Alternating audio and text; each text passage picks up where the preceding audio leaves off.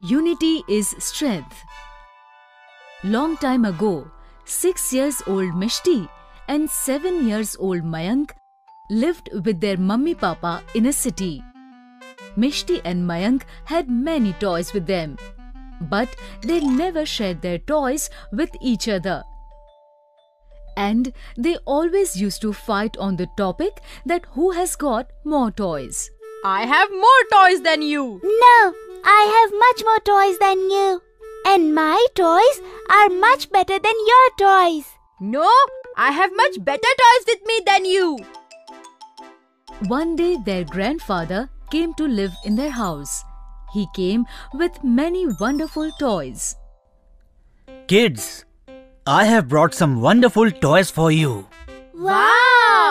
So, many toys. toys. They both stepped forward and picked one bag each from their grandfather's hands. These toys are mine. And these are mine. I have brought these toys for both of you only.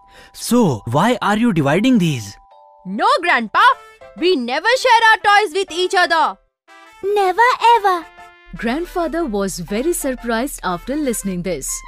But he did not say anything to kids. Next day, both the kids were fighting as usual. I have more toys than you. No, I have much more toys than you. This time also, grandfather thought that kids will understand with time. This went on for few days.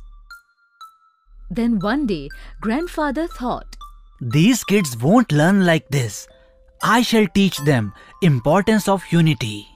Thinking this, he went to children's room.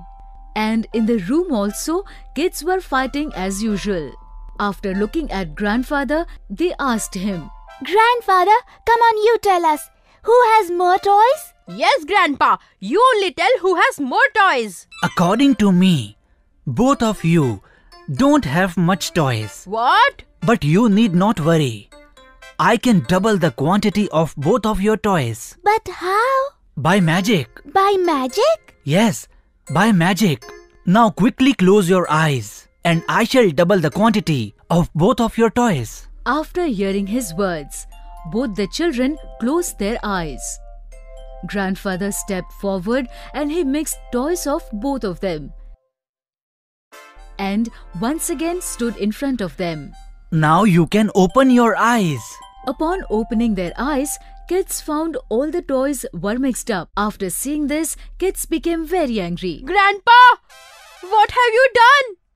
Grandfather, why did you mix our toys? On this, grandfather made them understand by saying, Haven't mixed them, but I have doubled the quantity of your toys.